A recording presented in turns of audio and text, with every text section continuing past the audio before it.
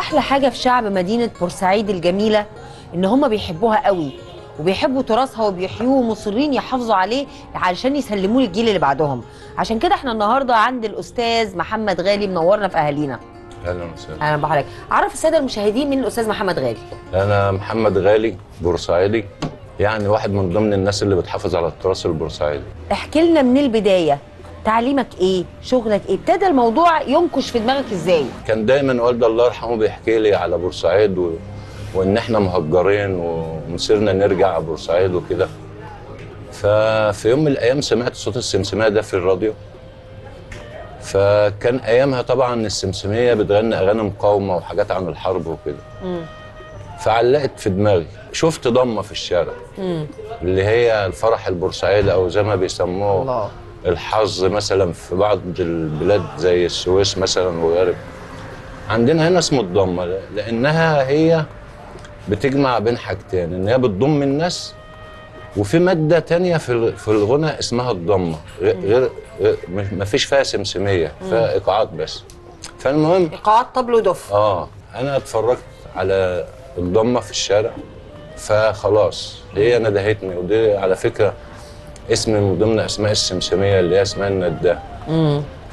فخلاص علقت في دماغي. فلما جينا بقى من التهجير ودخلت مدرسة الثانويه الصناعيه قسم نجاره أول حاجة عملتها عملت سمسميه كنت في المدرسة؟ ثانوي. في البيت لا انت وقتها كنت في ثانوي. آه في ثانوي. آه في البيت بقى عملت إيه؟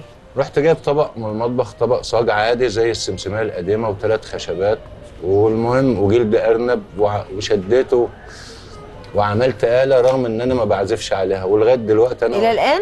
آه ما- يعني رغم شغفك ده كله بالسمسمية ما حاولتش تتعلمها؟ بؤمن بحتة إن كل واحد ربنا بيديله حاجة. وكلنا بنكمل طبعا. بعض. يعني في ناس بتعزف في ناس بت... بتصنع في ناس بتسميها في ناس كده. فأول حاجة عملتها وخدت بقى زمايلي من المدرسة طلعنا على البحر. المهم أنا اخرفش عليها كده وخلاص ونغني وبتاع لغاية لما قابلنا حد بيعزف فعلا حقيقة سمسميه خدها ووترها وقعد وقعدنا نغني على سبس اللي هو دير سبس بتغني المنيا يا حمام والحاجات البورسعيديه أنا من اليوم ده صوت السمسميه بالنسبة لي يعني بيمتعني أصلا. فالفكرة جت في لما أنا التحقت بالفرقة الطنبوره 89 كان في مشروع إن التراث ده بيروح بسبب الانفتاح وكده. ففي زكريا إبراهيم عمل جمع الناس القديمة قوي اللي هي حافظة التراث ده و... وبقى يحفظنا. كنت كنت أنا لسه بقى سن صغير شوية. وقعدت أحفظ معاهم واشتركت معاهم وحفظت أغاني الضمة والسمسميه وبحكم إن أنا بقى في النجارة وكده فقالوا لي اعمل لنا آلات. إيه، صنع لنا سمسميه المهم بدأت واحدة واحدة إن أنا أصنع الآلة وبقيت بقى أستفسر العازف عايز إيه إيه الحاجة اللي مش مظبوطة ممكن نعدل فيها؟ جت الفكرة؟ كان عندك كام سنة؟ يعني مثلا الفكرة ابتدت معايا من 2005 كان الوقت ده السمسمية مش مش ظاهرة قوي.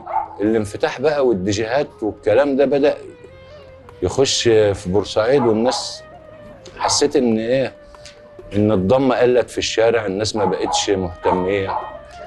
في ناس بتحافظ على التراث الغنائي وأنا من حب للآلة نفسها اللي هي بتطلع الصوت ده. فالفكرة جت إن أنا خلاص أنا هصنعها هصنعها بقى و- ويبقى زيها زي مثلا العود وهو موجود في في محلات الآلات الموسيقية زي الجيتار. ليه ما فيش سمسمية؟